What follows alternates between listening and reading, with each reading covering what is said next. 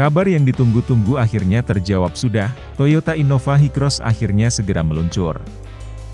Mobil baru Toyota ini dinilai jadi yang terbaik di kelasnya dibanding mobil lain.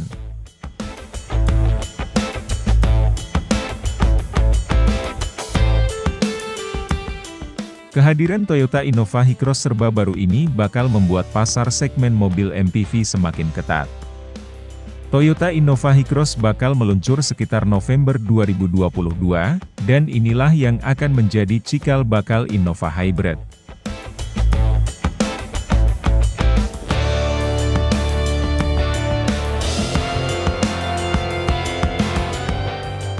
MPV yang serba baru ini kemungkinan besar akan mulai dijual pada Januari 2023 dan akan dijual bersamaan dengan Toyota Innova Krista.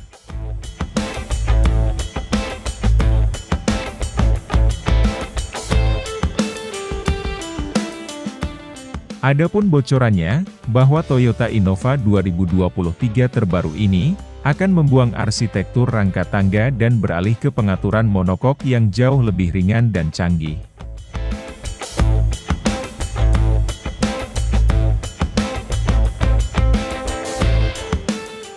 Toyota Innova 2023 terbaru ini juga akan menghadirkan sistem pengaturan penggerak roda depan, bukan lagi sistem penggerak roda belakang seperti yang sudah ada saat ini. Tidak seperti yang terlihat di Innova Krista dan versi sebelumnya.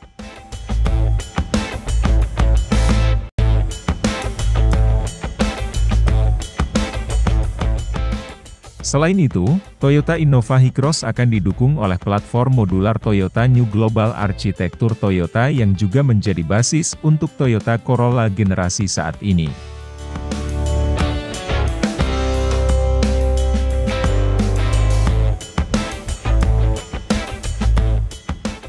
Untuk dimensinya, Toyota Innova 2023 terbaru kabarnya memiliki panjang sekitar 4,7 meter dan akan memiliki jarak sumbu roda 2850 mm yang sedikit lebih panjang dari Innova Krista.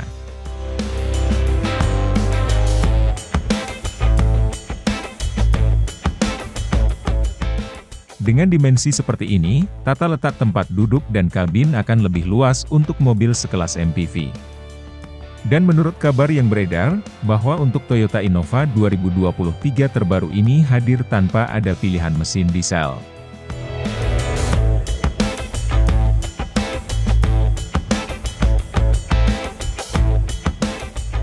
MPV serba baru ini akan hadir dengan konfigurasi bensin hibrida. Mesin ini mirip dengan yang sudah ada pada Toyota Hyrider.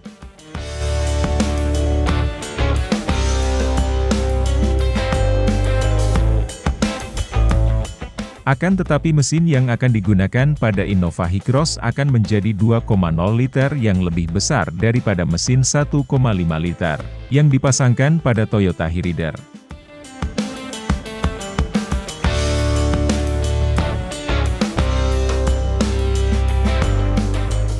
Kedua model ini akan menampilkan versi lokal dari sistem Toyota Hybrid baru yang akan membantu menjaga biaya tetap terkendali.